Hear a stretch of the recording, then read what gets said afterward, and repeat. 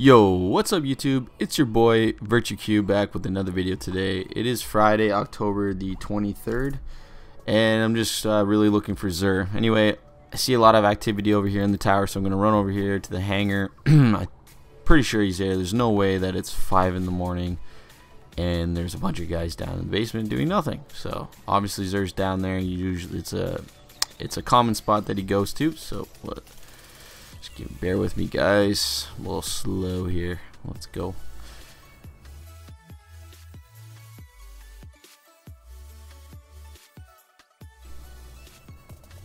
And oh, it doesn't seem to have too much here. Forgive me, I can't really pronounce this. this is the Titan exotic helmet Empyrean Bellicose. I don't even know if I pronounced that right. Anyway, some of the features it has, aiming weapons while airborne holds you in place with a full super orbs recharge melee, blah, blah, blah, more super energy from non-guardian kills, shields start recovery immediately after orb pickup. So that doesn't seem to be too bad. I have seen people use this helmet. Uh, I don't know if I recommend it.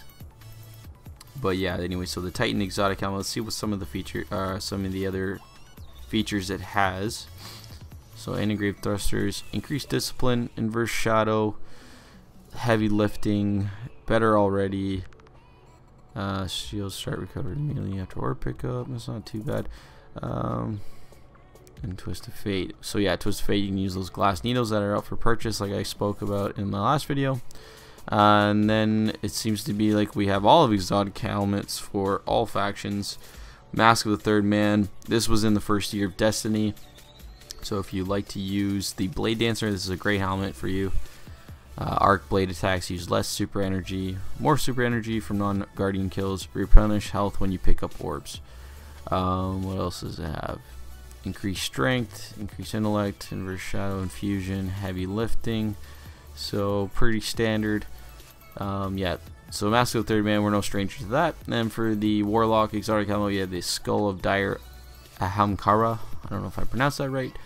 Uh, so yeah, you take less damage uh, while using your Nova Bomb. So it's kind of like the Unstoppable perk for the Titan, which is when you go into that motion of using that super, you're harder to kill uh, when being shot at. So you're yeah, that's not too bad. Uh, increased discipline.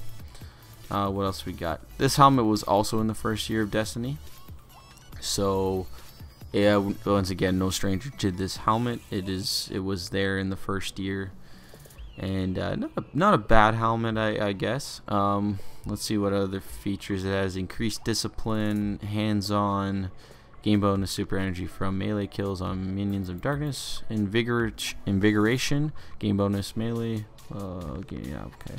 Second thoughts, game bonus Super energy from special weapon kills on minions of the darkness. So yeah, not too bad. Also, we got the exotic engram for the armor and the heavy weapon. I don't know if I recommend those.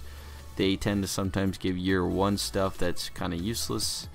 Uh, other than that, the glass needles are there again.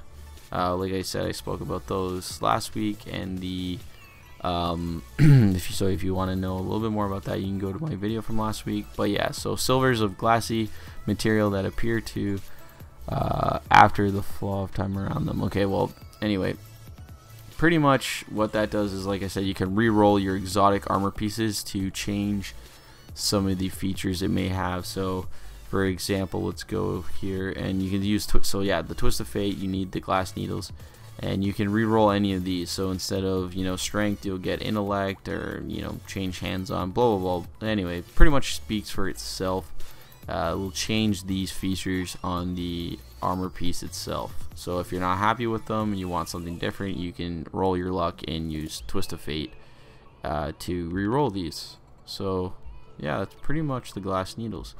Other than that, the three of coins are back. Um, they're not as powerful as they once were when they first came about. Um, they don't, I mean, they're not too bad you know you have a higher chance of an exotic engram, uh, exotic engram or exotic piece dropping in your next ultra kill.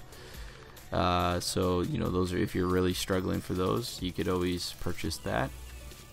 Uh, Motes of Light, I don't know why they're changing that, why they're still giving those away. But anyway, like I was saying about these engrams, they're a little risky. They're a little risky considering in the past I've I have purchased this and they gave me year one uh, items. I don't know if they fixed that. You can do some research on your own. But yeah, other than that, guys, that's that concludes this video. Thanks again for tuning in on to Where the Fuck Is Xur. And uh, yeah, hope you guys enjoy it. And please subscribe if you guys haven't already. And thanks to those of you who have. Until next time, is your boy Virtue Q. Stay virtuous. Peace. My will is not my own.